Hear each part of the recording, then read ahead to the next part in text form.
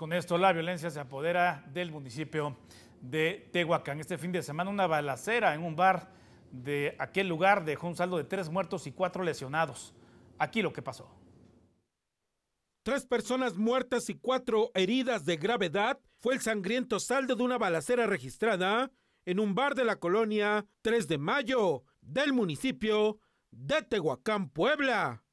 La Fiscalía General del Estado dio inicio a las investigaciones para esclarecer el violento ataque contra el establecimiento ubicado en el libramiento tecnológico San Marcos, entre las calles 12 Sur y 27 Poniente.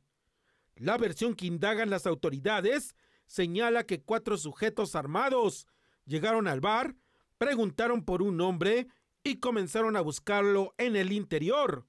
Una vez que lo hallaron, empezaron a dispararle en múltiples ocasiones hasta darle muerte junto con otro hombre más, y al intentar huir, dispararon contra los clientes, dejando cinco personas lesionadas. Una vez que los atacantes huyeron a bordo de un par de motocicletas, las corporaciones de emergencia y seguridad comenzaron a llegar para brindar auxilio y trasladar a los heridos a un osocomio. Sin embargo, uno de ellos pereció al llegar al hospital. Personal de la Fiscalía realizó el levantamiento de los cuerpos y dio inicio a la carpeta de investigación correspondiente. N más. Y luego del ataque armado que se registró en el municipio de Jolalpan la semana pasada y que dejó un saldo de seis muertos y tres heridos, el gobernador del estado, Miguel Barbosa Huerta, aseguró que la fiscalía tiene dos líneas de investigación. Una de ellas tendría que ver con la pugna entre dos grupos de autodefensas poblanas comunitarios y la otra es que este enfrentamiento se pudo haber originado por dos grupos delincuenciales provenientes de los estados de Guerrero y de Morelos, que habrían atacado al grupo denominado Fuerza Territorial Poblana. El mandatario estatal consideró que este problema es complejo, sin embargo dijo que la Fiscalía está muy avanzada en la investigación para dar con el origen de este hecho delincuencial. La que tiene que ver con el ataque de grupos eh, delincuenciales de Guerrero hacia este grupo armado poblano, las llamadas fuerzas territoriales poblanas, o la otra versión, que es una disputa entre poblanos, entre dos grupos armados poblanos. ¿Sí? ¿De acuerdo? Pero no me toca a mí abundar en detalles. Pero cuidado con todo eso. Por otra parte, continúa el operativo de revisión en la zona de la 46. Empezó el pasado viernes por la tarde-noche y continúa. Hasta el momento van más de 200 toneladas de autopartes de dudoso origen decomisadas. Aquí el reporte. La Fiscalía General del Estado aseguró 21 inmuebles en los que se encontraron 220 toneladas de autopartes, más de 800 llantas y rines, sin que los dueños pudieran comprobar su legal procedencia. Esto durante el operativo que inició el pasado viernes 22 de julio y que continúa hasta este momento en la zona de la 46 Poniente. Sí, se hizo un aseguramiento, se hizo un cateo en 29 inmuebles, aseguramos de ellos 21 por encontrar en ellos eh, materiales o productos que no se ha acreditado su licitud. En el mismo dispositivo, donde participan policías municipales, elementos estatales y personal de la Fiscalía, también se encontraron narcóticos, por lo que la zona se mantendrá acordonada. El fiscal Gilberto Higuera calificó el sitio como una área de altos índices delictivos, por lo que sentenció que los trabajos de investigación continuarán en las siguientes horas. Es un área de, delictividad y, y vamos a seguir haciendo ese trabajo en donde sea necesario para actuar contra quienes delinquen. Durante la mañana de este lunes se logró ver presencia de presuntos comerciantes que se reunieron en las inmediaciones de la 46, mismos que pidieron a los dueños de algunos locales establecidos bajar sus cortinas. En las imágenes Alejandro Sánchez, Cristóbal Ovato, N+. Por otra parte, el mercado de la cuchilla tiene que transformarse para que sea una zona de comercio legal. Así lo aseguró el titular del Poder Ejecutivo, Miguel Barbosa Huerta, al reconocer que en este momento el problema de este lugar es incontrolable. Reconoció que es complejo lo que se vive en este mercado, pues considera que se dejó avanzar y hubo un solapamiento de las autoridades. advirtió que el gobierno no va a permitir más acciones de ilegalidad, pues además reconoce que en este sitio se han asentado personajes dedicados a actividades ilícitas. Hoy es un asunto de acciones ilegales. Eso es la cuchilla. Y no lo vamos a permitir. Es una fuente que contamina toda la vida comercial y es un asiento de muchos personajes que viven en la ilegalidad. No lo vamos a permitir, lo digo claramente. Hace unas horas se dio a conocer que un juez dictó una fuerte sentencia contra Oscar N., alias el Loco Telles, el líder guachicolero en la zona de San Martín Texmelucan. Oscar N., alias el Loco Telles, líder guachicolero y principal generador de violencia en la zona de San Martín Texmelucan, pasará 23 años 9 meses en prisión por el delito de homicidio calificado. La Fiscalía General del Estado acreditó que este sujeto detenido desde el 2020 es responsable de haber dado muerte a un hombre de 28 años de edad que pertenecía a su grupo y que lo privó de la vida por haber permitido que una persona ajena a la banda delincuencial presenciara otro hecho delictivo. En días pasados, se llevaron a cabo varios cateos en el inmueble donde presuntamente se cometió este homicidio, donde se aseguraron drogas, dinero, bidones y aditamientos para extraer líquidos, así como un tigre. Ahora este peligroso delincuente, además de pasar muchos años en prisión, deberá pagar por la reparación del daño material y moral a los afectados. Con información de Anacelia Lara, Franco Arteaga, N Por otra parte, durante este fin de semana, tres sujetos ingresaron a las oficinas de la Confederación Sindical para robar diversos equipos de cómputo. Fue el día sábado aproximadamente a las 8.30 de la noche cuando estos delincuentes cometieron el hurto. Después de romper una ventana e ingresar al edificio que se encuentra en la Diagonal Defensores de la República y la 34 Poniente. Fue uno de los encargados quien se percató del robo al notar que había cajones desacomodados y mobiliario revuelto. Se estima que el monto del botín es superior a los 30 mil pesos. Quienes lograron ver a los responsables aseguraron que huyeron en un taxi. Por otra parte, sujetos desconocidos dañaron una cortina en la 2 Sur y Circuito Juan Pablo II para poder ingresar al inmueble con la intención de apoderarse de diversos productos. Fue aproximadamente a las 6 de la mañana cuando los delincuentes llegaron al sitio, utilizaron un gato hidráulico para forzar la cortina y así echar abajo la puerta de acceso. Para su mala suerte, el espacio que servía como taller mecánico ahora solo se usa como bodega, pero no encontraron nada o nada de valor. Tras no lograr su objetivo, los zampones se dieron a la fuga. El propietario de este lugar confirmó que los responsables solo cometieron actos vandálicos, ya que aseguró que no se concretó el robo. Policías municipales acudieron al sitio para entrevistar a los dueños y realizar un recorrido por la zona. Tenga mucho cuidado porque la delincuencia ya no perdona absolutamente nada. Ahora resulta que los delincuentes han optado por robar las tapas de los buzones de los domicilios particulares. Así lo denunciaron vecinos de la calle 19 eh, Norte, esto en la colonia La Loma, aquí en la ciudad de Puebla, quienes ahora deben mantenerse pues mucho más pendientes para cuidar su patrimonio.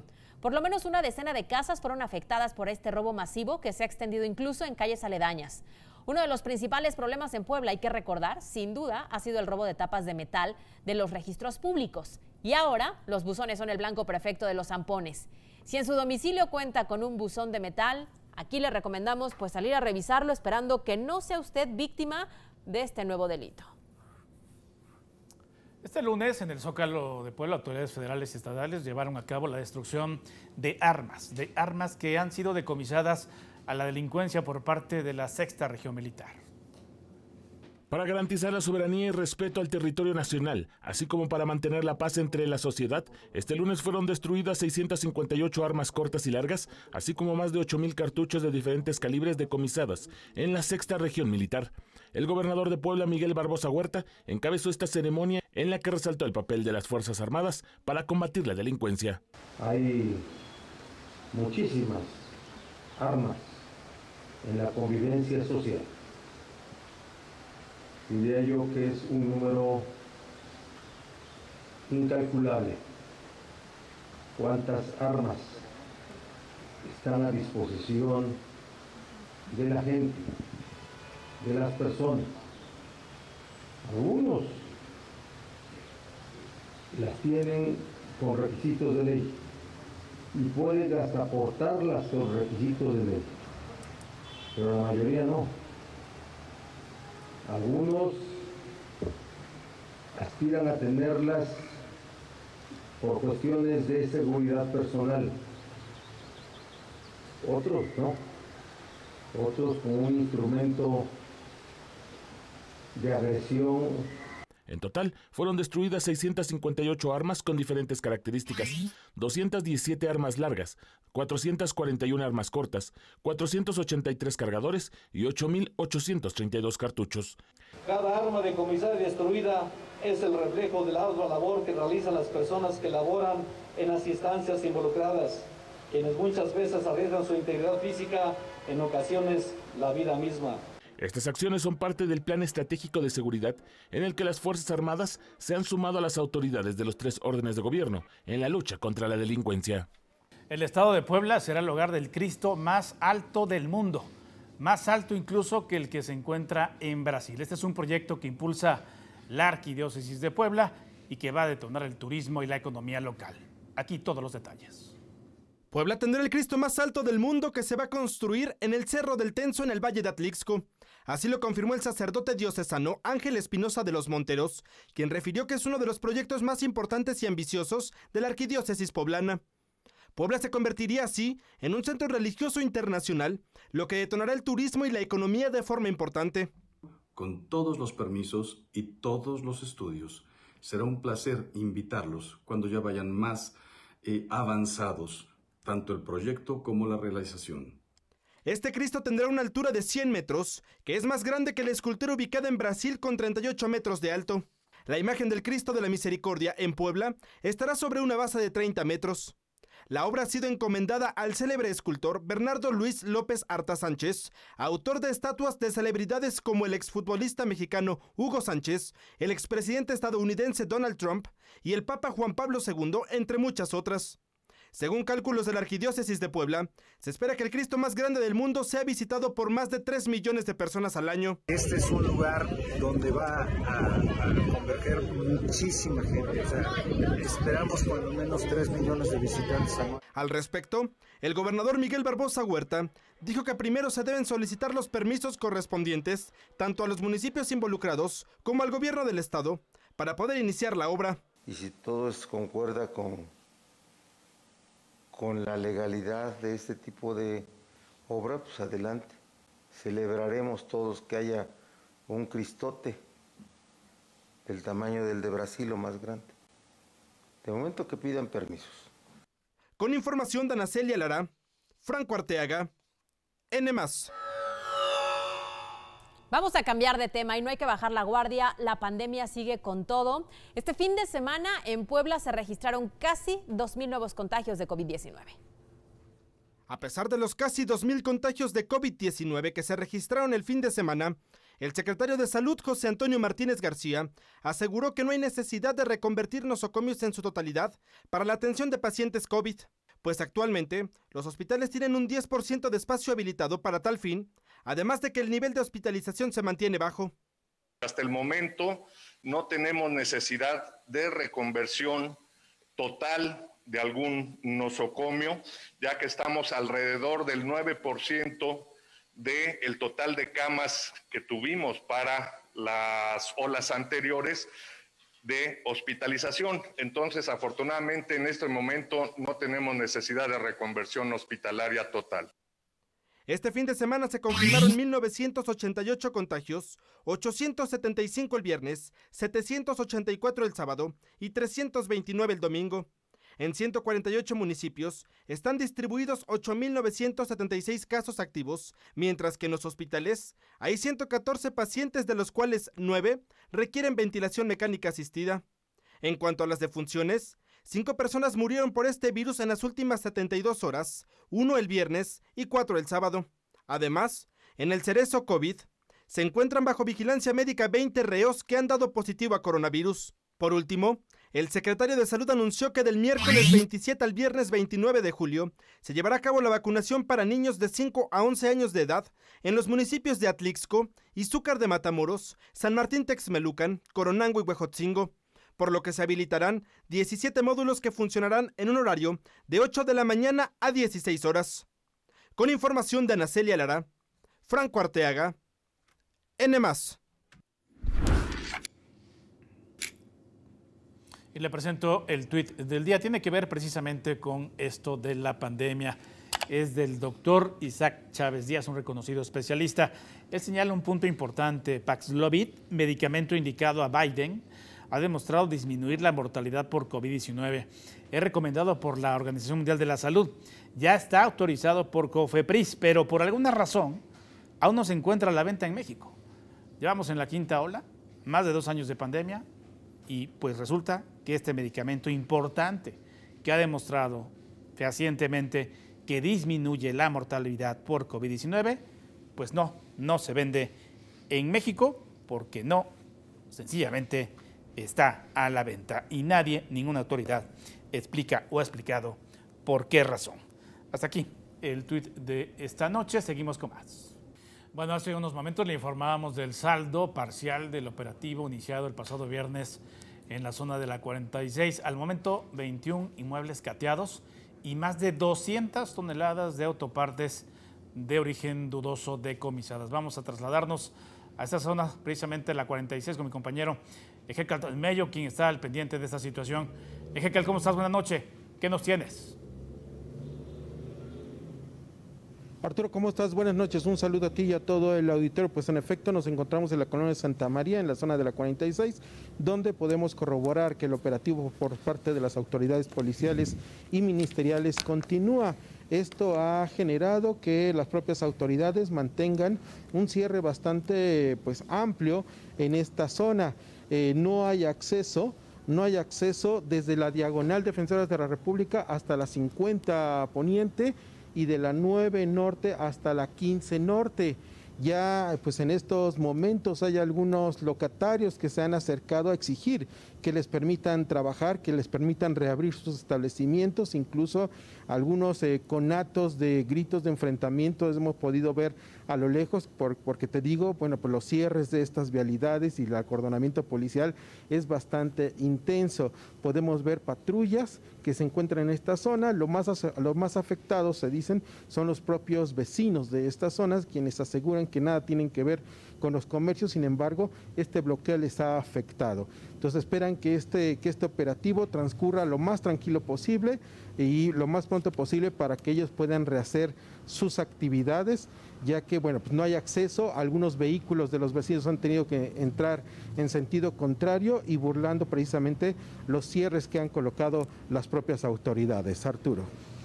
Bueno, pues en los últimos tiempos se han hecho varios operativos en esta zona de la 46, como sabemos todos los poblanos, es el lugar donde presumiblemente se venden autopartes robadas. Sin embargo, nunca un operativo de esta naturaleza había durado tantos días, viernes, sábado, domingo y lo que va de lunes.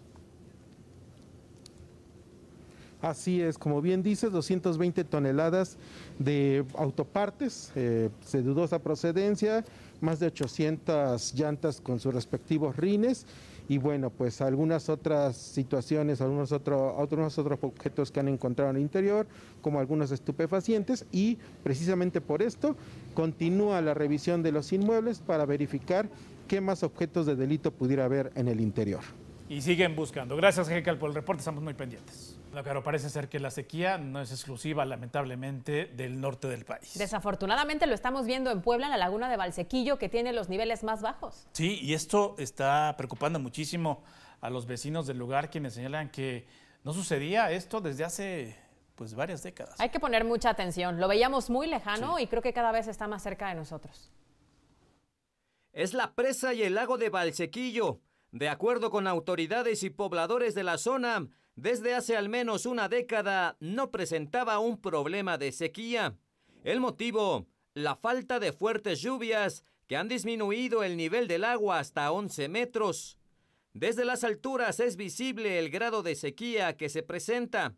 La presa de Valsequillo fue creada para abastecer con agua de riego a la región de Tehuacán y Tecamachalco, debido a que diariamente se utiliza y ante la falta de lluvia, tanto el lago como la presa tienen un aspecto desolador, y es que donde normalmente había agua, ahora solo hay tierra cuarteada. Lancheros que trabajan desde hace décadas en la zona no dan crédito a la situación de sequía. Esperan que con las lluvias de agosto y septiembre la situación mejore Y es que al no haber agua se están quedando sin trabajo. Porque no llueve. No llueve y este, lloviendo, pues aunque te ha abierto el canal, se repone un poco. Pero no llueve para nada. Entonces por eso está secando. Este año se fue mucho más abajo, ya está este, saliendo la tierra negra, podrida, ya está pesta el agua. Eso es lo malo. De acá se va uno sacando aunque sea poco para comer, pero este, al, al día no haber agua, pues ya no hay nada de, de hacerle la lucha. La presa y el lago tienen un largo superior a los 20 kilómetros. De acuerdo con la Capitanía de Valsequillo, los niveles del agua tienen registros que no se presentaban en décadas. Sin embargo, esperan que las lluvias se presenten con mayor intensidad. La situación de sequía en el país no solo es asunto del norte, sino que también afecta al centro de México, como muestra lo ocurrido en Valsequillo. Y sí, sí está bajando el nivel, este, precisamente porque no llueve. Como el agua lo usa para riego, no llueve, entonces tienen que, que dejarla ir. Es el motivo principal, el porque no se está secando, sino está bajando el nivel, pero es porque requieren el, el líquido para las cosechas. El máximo que, que, tenía del 2058 está en el 2050, 2058 está en 2047, prácticamente ha bajado que este, pues, 11 metros. No solo en el lago es evidente el problema, sino que en la presa Manuel Ávila Camacho se aprecia con claridad la situación de la sequía. Autoridades no contemplan cerrar las compuertas, ya que es necesario seguir proporcionando agua al campo. Los vertederos de la presa están secos, al igual que las zonas donde normalmente había millones de metros cúbicos de agua. Pobladores se dicen sorprendidos y solo esperan que la situación vuelva a la normalidad con la esperanza de que las lluvias terminen con los bajos niveles del agua. Con imágenes de Alfredo Santos, Genaro Cepeda, N. Y con el apoyo de la Federación, los gobiernos de Puebla y de Tlaxcala, pues estarían comenzando a clausurar las fuentes de contaminación del río Atoyac. En la videoconferencia de este lunes, el mandatario estatal aseguró que han tenido reuniones con autoridades del gobierno federal y están en proceso de terminar el diseño de la estrategia para el rescate de este río. Consideró además que Huejotzingo es una zona muy contaminada. Es más, reconoció que el propio aeropuerto y otras industrias pues contaminan al afluente. Este, es una zona eh, que tiene muchas fuentes de contaminación, muchas y las vamos a empezar a cancelar. Pero esa es una, una atribución de la federación, ¿sí? de Conagua, de Semarnap. Pues ya empezamos otra semana y esto es lo que pasa esta noche de lunes en la capital. Mantenemos cielos parcialmente nublados con probabilidad de precipitaciones al 20% para el resto de la noche. Le comento que el termómetro marca al momento 17 grados Celsius. Próximos días vamos a continuar con precipitaciones debido a canales de baja presión y zonas de inestabilidad, así que ya sabes, salga con el paraguas y maneje con mucha precaución. Temperaturas mínimas que van de los 10 a 11 grados, con máximas que alcanzan los 25 grados Celsius. Y bueno, revisemos qué es lo que está pasando en el resto de nuestro estado. También en el norte presencia de ligeras lluvias para esta noche, con temperaturas que oscilan entre los 12 y 16 grados y máximas que alcanzan los 23 grados Celsius en Cuetzalan. En la zona centro mantenemos cielos parcialmente nublados con temperaturas mínimas que van de los 7 a 13 grados con máximas que alcanzan los 26 grados centígrados. Por último, en el sur, también para esta noche mantenemos presencia de nubosidad con termómetros que van de los 13 a 17 grados y máximas que alcanzan los 32 grados Celsius. Así que el clima, la frase de esta noche, imagina todo lo que podrías lograr si empiezas a creer en ti. Sigan teniendo una excelente velada, pausa y regresamos con más. Con una montonera de basura y por supuesto con un olor fétido, es como amaneció la calle 14, poniente esquina con 5 norte, en pleno centro histórico. Gran cantidad de desechos fueron tirados en la calle. Esto generó que aquellas personas que transitaban por el lugar pues, se molestaran por lo acontecido. Además, a pesar de estar eh, prohibido, esta calle luce llena de cajas de madera que son usadas así para el apartado de lugares en vía pública. Supuestamente esto ya no es permitido y es sancionado. Cabe señalar que, pues sí, desde mayo esta actividad de apartar lugares en vía pública está prohibida y que aquella persona que lo realice podría recibir una multa que va de los 1.154 pesos hasta los 9.622 pesos. Y nos vamos, Caro. Gracias a las personas que nos siguieron esta noche. Nos vemos mañana en punto de las 9. Gracias, buenas noches. Descansen. Por favor, síganse cuidando.